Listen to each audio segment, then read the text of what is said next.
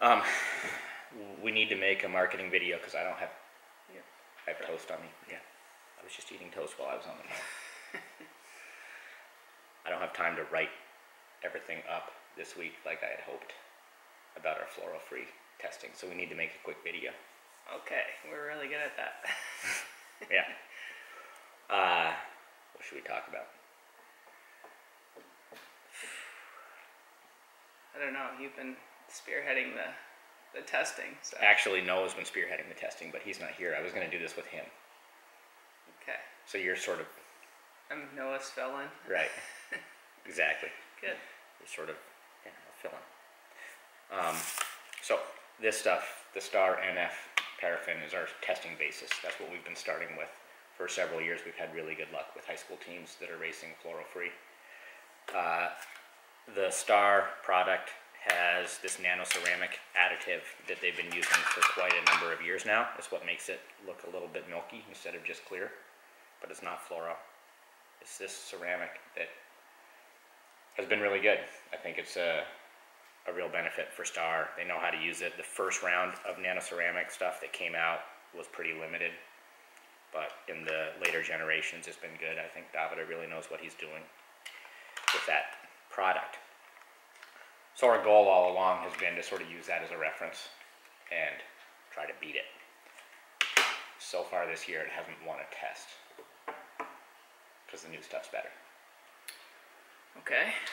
Like what? like this. This is more or less the same stuff. It's labeled next. It's got a big next label on it. You see? Next. Show the camera. What's different about that? Uh, more additive. I don't know. More nanoceramic, maybe other stuff. He doesn't exactly tell us. He just says, try this. This is, this I think represents the highest level of additive content that he has really 100% confidence in, not just like an idea, something that he knows will be fast. And in every test, it's been better than the regular NF. The polar version, there's four of these. Polar, which is like the old NF8.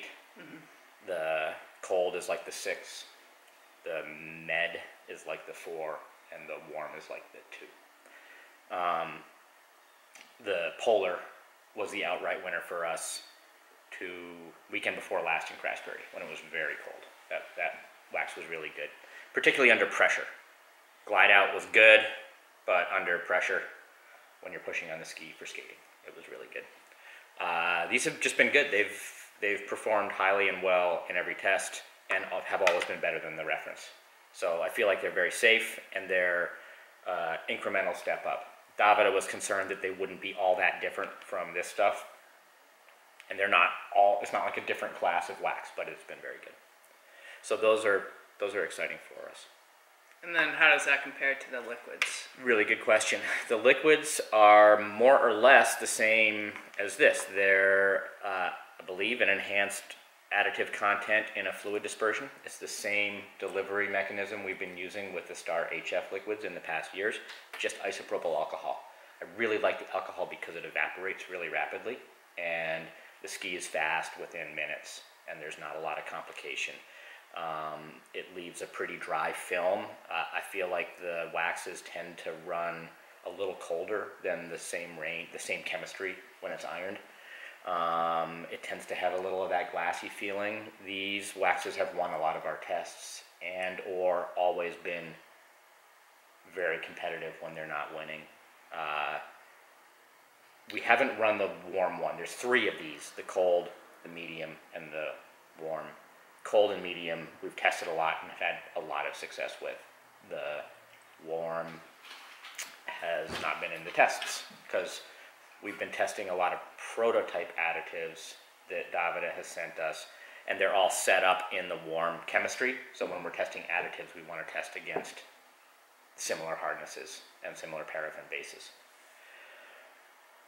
How are you applying those other than spraying it on, letting it dry? Are you ironing? Are you So we've tested everything. With the HFs, almost always running the iron over it seems to make it better. With these, you can run the iron over it just the same way.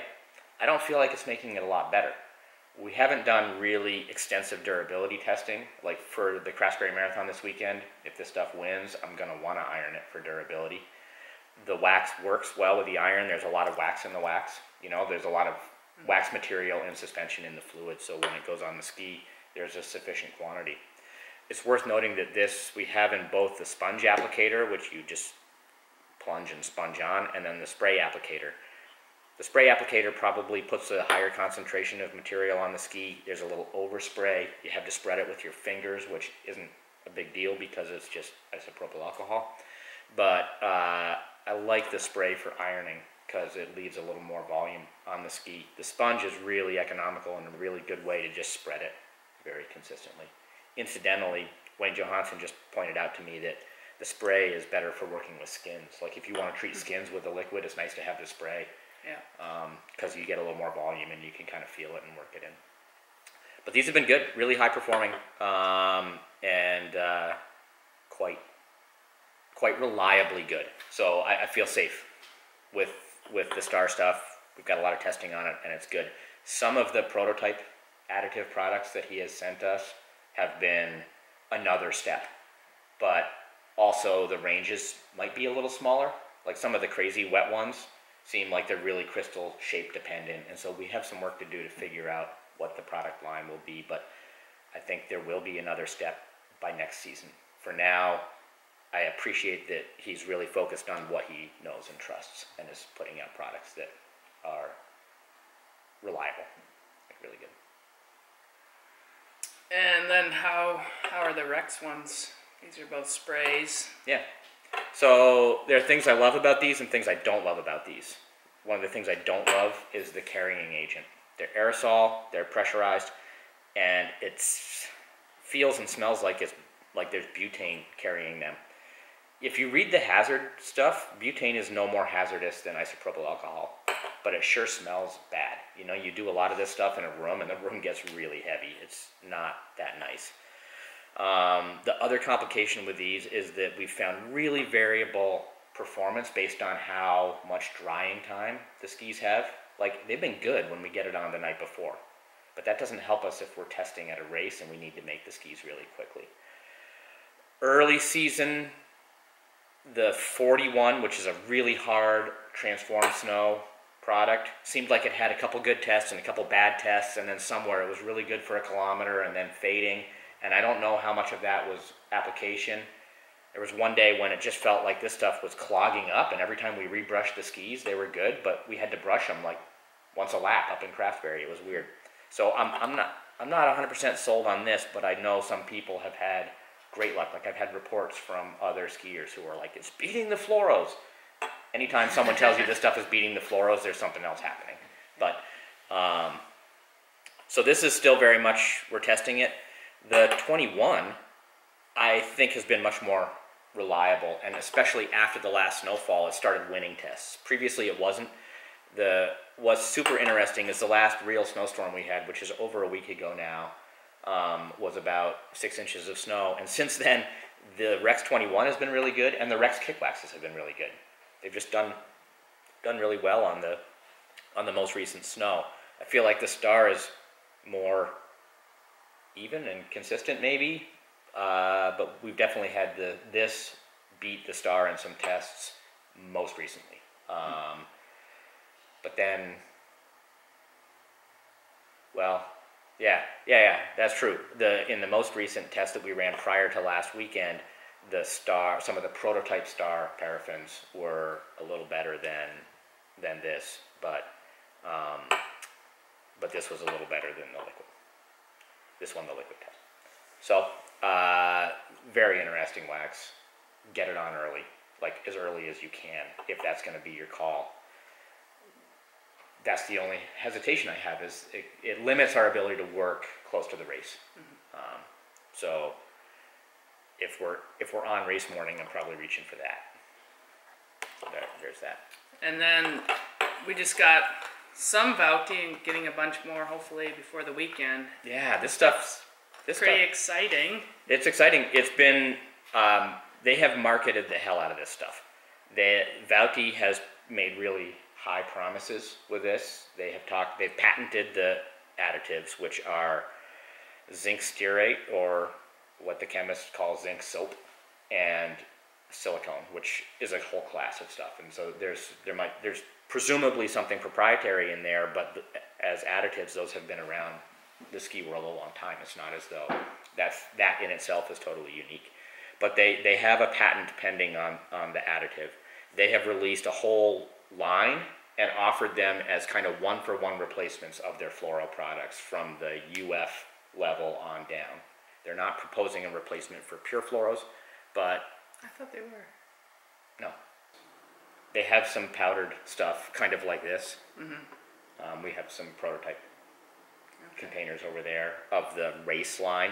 This is the pro line, which they're saying is comparable to, I don't even remember, something really Wait. highly fluorinated. Can you, hold on, just let me get that Vauhti thing. Amy's getting the Vauhti thing. I have this whole thing. Oh yeah, you have a whole thing. I thought the pure race was the replacement on that level. Where's the pictures? Oh, so what they've got here, they're comparing the, uh, the pure race to their HF, no, their uh, RC speed. We've never even had the RC speed. Yeah, This is more liquid paraffin. oh, it is. It's not pure fluoro. It's, I see. it is refined fluorochemistry in suspension with liquid paraffin. It almost feels like they're just floating powder in the, in the liquid. I don't know exactly how it works. I'm sure it's more refined than that, um, but it's still a paraffin base. It's not a, not a pure fluoro. But it's expensive. Now, it's worth noting also that they, they've placed this stuff at a very high price point. So this is seventy-two dollars, I think. What is that? This is uh, Pro, 78 and 82 for the LDR. but that's this. This is 78, and the liquid, Pure Pro liquid, is 74. 74, 78 in the solid form. Um, compared with 20, Mine, and this is somewhere in that. somewhere in that region. Okay, and this is 28. Um, so like, definitely different price points, and I think a lot of this has to do with how they're presenting and offering the line. I mean, let's keep in mind that uh, the material cost is a big component of the cost of wax, but a huge component of the cost of wax is research and development. I mean, when I first saw like cost-based pricing on some of the potential race products for Star, I asked Davida, like, can you make a living on that? And he goes, no, probably not. And I said, well, how about you build your living into the pricing? like, if you're developing this stuff and you have a factory and everything else, someone's got to put groceries on your table. So if you're making race product, let's call it race product. And it takes work to make race product. It's like our grinds. It costs us, if we're batching out skis and we're putting 100 pairs of skis over the same stone, the material cost per grind is very small. But we got to pay for a grinder, we got to pay for space, we got to pay for labor, we got to pay for the development, all of that stuff, which means that in fact the cost is high. And I think we all have to face that some of that's happening in the wax industry. But it also means that there's no direct index and no one really knows what the pricing is going to end up being. What they do know is what the price tolerance of the market is. I think Vauhti is testing the price tolerance of the market, and I think everything's going to probably even out. And as we see newer packaging from other brands, I bet, I bet we'll see the pricing come up. All these wax companies need to find a way to make a living. They're going to work just as hard. They're going to deliver this equivalent advantage in a fluoro-free world that they ever did. But everyone's based their pricing on that little floral tag in the past, and so it's, it's really all over the map right now. This stuff's expensive. The promises are very high. We haven't had really any controlled test of it. We, we, it was on a pair of skis. In the most recent test, conditions were n- no one wasn't excited. The conditions were crappy, and it was hard to really be confident in the testing. And it, it did fine. It didn't win, but it was good. And it was a blind test. He didn't know what it was on, and it was just a day. He came back shaking his head and was like, "Well, here's what won, but mm-hmm. what does that mean?" So we'll be testing it this week for the marathon for sure. We'll have it there, and we'll be testing it. Um, basically, like everything here, we sort of need people to join us in testing. It's not. It's not like we have uh, all the answers. And then Yeah, Oola. Ula is this is interesting.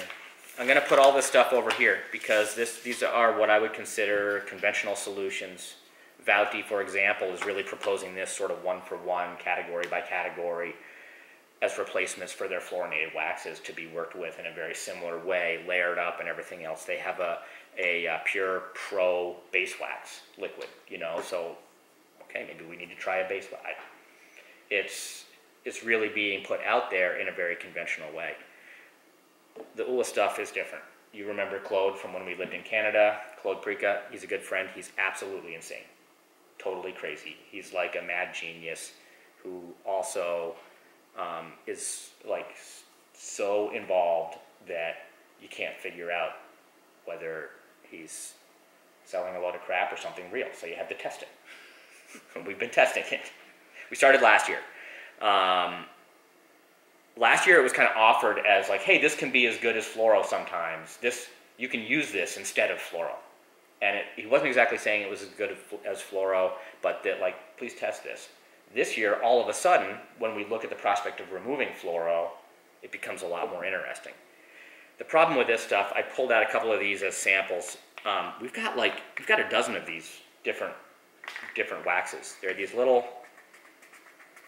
these little pucks and you run the roto tool over them to load it up and then you put it on the ski and the first thought i had was like that's not doing anything so it took me a while to even believe it was working at all and it is in fact it's, it's putting wax on the ski and the wax lasts So, conceivably, these have to be different. they're dedicated Okay. yeah yeah so they've got two sides one side like this one is for the pink and we run the pink there and i haven't run the pink black yet so there's a black version of the pink and that will go there um, but yeah, there's a different tool for each one. The tools are super well made. This is wool. This is the roller. Uh, they're very well made, but they're also expensive. So the starting cost is high. Um, the wax is expensive, but very economical once you're into the game. What I keep finding is that this is not a whole different class from this, but it is also the only product that we've put on snow and actually had compete with fluoros. So we ran that test up in uh, at Quarry Road in. Waterville, where I put out one of these, and it wasn't the one I would have picked. I, I actually texted Claude and was like, "These are the conditions." He's like, "Have you tried the black?" No, I wouldn't because it's too whatever it was. And he said, "Just try it." So I, we had already finished our paraffin testing, so I was like, "Heck, we'll put it into the fluoro test." I tossed it into the fluoro test, and Noah came back and he's like, "This ski." I was like, go try again. I don't believe you, try again. And he came back and he said, no, it's good. Um, we put you on it and you already knew what it was, and you definitely said really high speed, maybe not as good as the fluoro. On the down. On the downhills. You could tell the You big could tell. Okay. Um, on the flats, it, well, it was really free. Yeah. You know, so it it definitely it offers performance at a at a high level. That was a, definitely a fluoro day. It's um, I think it's got the potential to be really good. What I keep seeing is that teams that adopt it and work with it are super happy. They find their way to good skis. When we work with it and we test ULA against ULA, we find good solutions. But often it's taking a bunch of tests. The products seem to react not just in terms of like temperatures, like, you know, th- these are clearly marked with snow temperatures, and the guidelines are pretty good and they're fairly crystal type independent, and they don't really care so much whether there's sun out or clouds or what the changing temperature is or, or anything else. Uh, these, the ULA waxes seem to be more responsive to structural changes in the snow, the solar effect, kind of what's happening, you know, the amount of pollution in the snow. Uh, They're sensitive to a different set of criteria, and so plugging these into this system is not automatic. It's not like you can just pick the right one of these things and throw it in a test. And when we do that, they often don't do very well. But when we focus on these, I find like I find that we come up with good solutions. How do you keep this wool from getting contaminated? You know, so you know that you're putting on what you think you're trying to put on. Yeah, so uh, they make a pretty good, a very good cleaner that we're using to clean the skis prior to applying them. The skis that have been treated with a lot of fluoro, you know, if we're taking a, a ski that has had a lot of fluoro on it and then putting the ULA directly on, they tend to turn the wool a bit black. Um, also, if you overload this stuff, if you try to put too much on, it gets smeary and it's, the application fails. Um, so there's a little practice that goes into using this. You want to really focus on light applications, but you can layer up. You want to sort of dry film out of this stuff. You don't want to get a really smeary, waxy thing, and you can definitely do that. Um, it's interesting. I uh, I've talked with a bunch of waxers who, well, teams that have adopted it and are making good skis are really happy. Uh, the Orford team, this guy Gilles, who's been working with it for a couple years, um, I saw him this weekend and he was telling me what they were testing and. Um, he, you know they're making good skis and putting people in the races. Uh, Steve Vosberg in the New Hampshire High School Series has just been loving it, um, making really good skis. Um, I you know I talked with one Super Tour waxer this weekend who was just like, "That's a fantastic solution for high schools." You know, like if you buy into the solution, it works great. If you just mm-hmm. use the system, you can find your way and, and you have good good success. I still feel like it's hard to integrate with other systems, and so we're kind of keeping them a little bit separate. And, you know, for this weekend, for example, when we go up Friday to test for the marathon, I'm going to put all this in a test and run it in one test. And then what I want to do is run another separate test and try to find the right solution from the And I don't, I'm not great at knowing what that's going to be in advance. But then once, once we get this solution and once we find that solution, we can start working those against each other and see how they work up. But I'm not confident that I can just put that stuff over into the test and and find it right away because I've usually needed a few tries. You can, it's easy enough on one pair of skis, you can work back and forth and layer the stuff up and it builds fine and you're, you're testing the top layer usually. The best solution often is a couple applications of the same wax, just like with regular paraffin, where a couple applications of the same wax kind of can clear the signal and make it a little more pure, a little better response. But um, but I, I feel like we could take one or maybe two pairs of skis and work through waxes really quickly. This stuff is so quick to put on. You're on the bench, you spin it on, and it's it's cool in minutes, and then you use a horsehair brush and polish it out. Um, and it's uh, it's really rapid to work with on site. So if you give it the time, I think you can get there. Um, but it's not automatic, and it's not easy just to put it in with the other waxes. It, it just it's a little bit of a different mindset. As a system, I like it as as a component of a of a different system. Mm-hmm. It just doesn't really plug in directly. So I think I've been talking to some customers, and I think the the questions out there are like speed. Is fluoro free gonna be faster than fluoros and durability? Good, very good questions. Speed is what? Is are we talking about speed in a speed trap, or are we talking about speed around a course? Um, I think we're seeing that at at high speed, low load, so half weight glide outs, fluoros are really hard to beat in almost every condition. Fluoros offer something else. Um, the differences, the well, the other thing that we see, I think, with the fluoro-free solutions is often that they get really, really close together in those circumstances. Once the speed gets up and the pressure is low, the, there's sort of a ceiling to the performance of the fluoro-free, and everything kind of collects under the ceiling, you know, and, and sort of call it a terminal velocity, right? At terminal velocity, they're all more or less the same. The question is, how do they get there? And where you see the bigger differences is under pressure when you're pushing on the ski and accelerating it uh, in general, I don't feel like the fluoro-free solutions are ever going to offer the level of performance that the fluorinated versions will. But I don't think we're going to see race times drastically reduce. I think I think we'll see solutions that off, that support the development of speed in active skiing, particularly in skating, at a very high level, and can long, wet, dirty no way. No chance. Long, wet, dirty. Um, I mean, there, there are additives in some of these waxes that are really pretty hydrophobic, but not as hydrophobic. There are additives that are dirt resistant, but not as dirt resistant. I, I have hopes. Some of these things, Claude feels like they make a film that is pretty, you know, impermeable and impervious to water and dirt. And that's the whole promise of fluoros. But I don't know. I I have to believe that the, you know, for dirty, wet marathons, floors are a really big advantage, really big.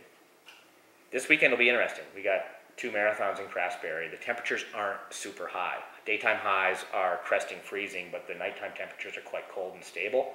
I think we're going to be into uh, really pleasant winter conditions, some level of transformation in the snow, overall fine grained. I expect. I need to check with Nick and see what what's happening up there. But I, you know, I think it'll be interesting. I think it's going to be fun races for Fluoro Free. I don't think it's going to be a bummer that we don't get to use fluoros because it's not going to be a death march. I think we can make fast skis. Uh, will they last the whole time? Well, we're going to go for a good long ski on Friday and try some stuff. Um, we'll see. I hope you have your testing legs. That makes me yes, That makes you happy? yes.